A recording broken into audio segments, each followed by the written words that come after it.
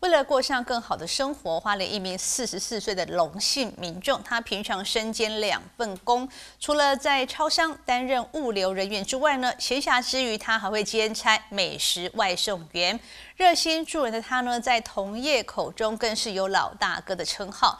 没想到龙姓男子在二号凌晨上班途中发生一起车祸意外，造成死亡，让同业感到很不舍。七号举办告别式，有二十多名的外送员特别组成车队为他送行。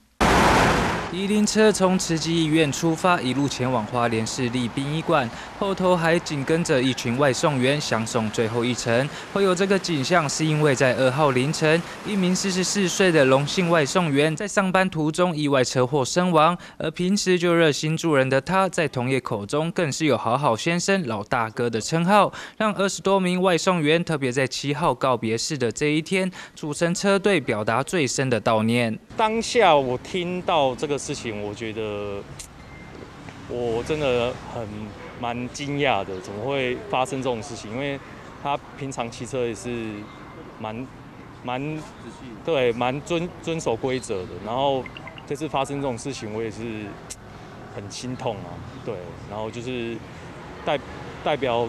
Uber 司机想要送他最后一程。车队抵达殡仪馆后，龙姓外送员的哥哥也忍不住哽咽，向在场的兄弟朋友们鞠躬答谢。